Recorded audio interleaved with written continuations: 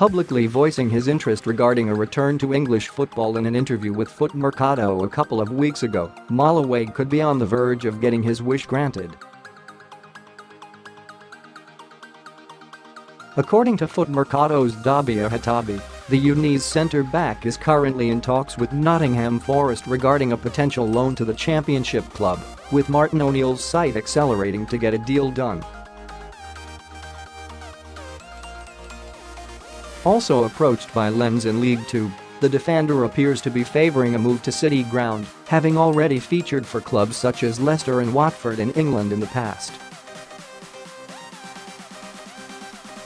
Playing all of pre-season with Udinese, Wagué expected to feature quite regularly for the Serie A side, but it quickly became apparent that wasn't the case, hence his search for a new team.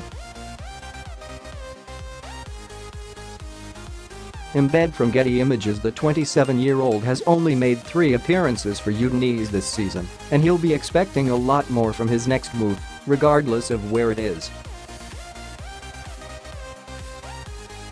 As things stand, Nottingham Forest are currently ninth in the championship, just four points behind Frank Lampard's Derby in the first playoff spot, having played one extra game